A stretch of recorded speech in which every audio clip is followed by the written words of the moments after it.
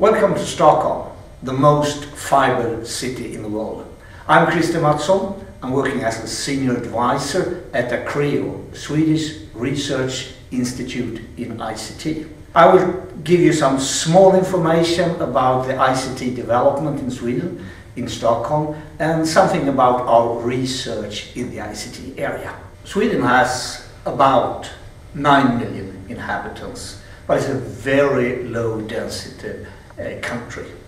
In the Stockholm area there is a million and a half inhabitants and in the city there is uh, less than a million inhabitants. Stockholm started to roll out fiber 15 years ago and at that time it was more a point-to-point -point infrastructure for operators. The background is that when Sweden became a member of the European Union we have to take away our telephony monopoly and uh, the mayor at that time was really afraid that there would be hundreds of operators coming to the city of Stockholm and all of them wanted to open the street. So the idea was to build an infrastructure that everyone, all the operators can use on equal terms. So started to roll out fiber and promised that the owner, which is the city, will never compete with the users so that was one of the first city networks that are operator neutral. And today there is close to 100 operators using the same network and giving access to customers, enterprises and also to public organizations. Besides that, there is 500 enterprises that use the networks. And everyone can understand that since 80% of the cost for broadband is the deployment of the infrastructure, this is really cost efficient.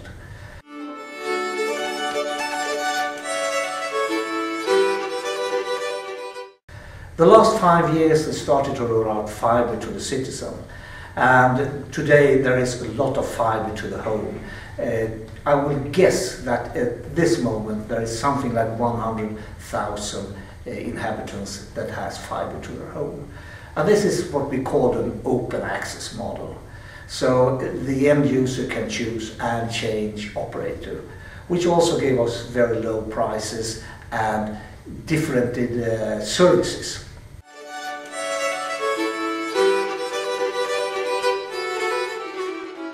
Sweden it's normally built and owned by housing organizations. So they do the investment in the access network and make contracts with operators or communication operators.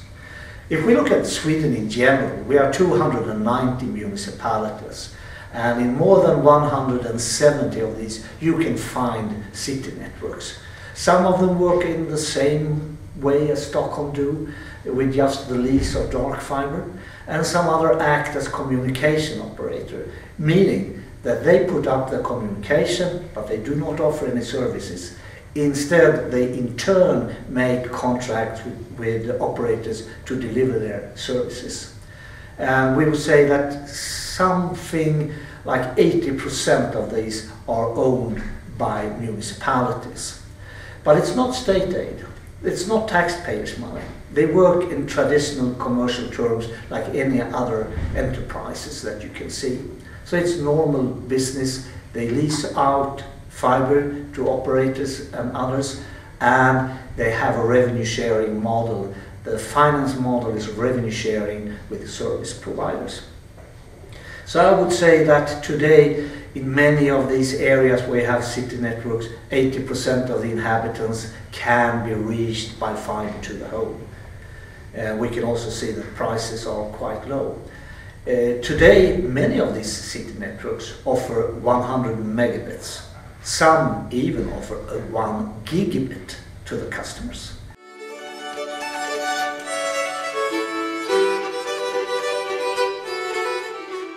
We can see that 80% of all the, the, municipalities do have a broadband policy. And I guess that is the first start that the politicians, the local politicians, are aware of the importance of eh, broadband and fiber. One problem with broadband development is that normally the evaluation is made on traditional return of investment calculation. And that is not good enough because it did not include other values that appear in the society. So we need new methods to measure what uh, happening in the municipality. What's the impact on GDP and taxpayers and, and new enterprises? So that is really a new business model, and that's the reason why municipalities has to be involved in the process and also sort of take part of the development.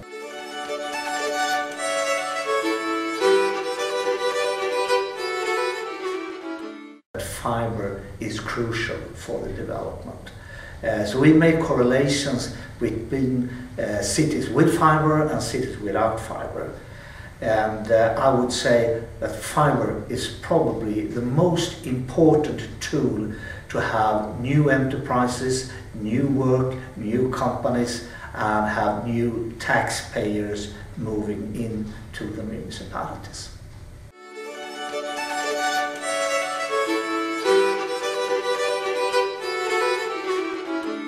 The most important thing of the broadband is, of course, not the, this uh, financial uh, situation. It's what it brings to the citizen. And we can see two things that are really important. First of all, democracy. You are getting involved in the management of the local society. You are reaching all information and you can administrate your own service from your home if you have a good fiber connection. And we can see in the cities, uh, the municipalities that have fiber, there is more e-services. So I would say that fiber is crucial. It must be operator neutral in one way or another, and you will see a huge impact on the society and the quality of life for the citizens.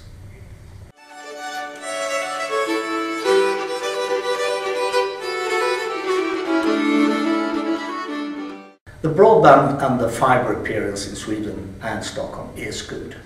Uh, we have many good examples.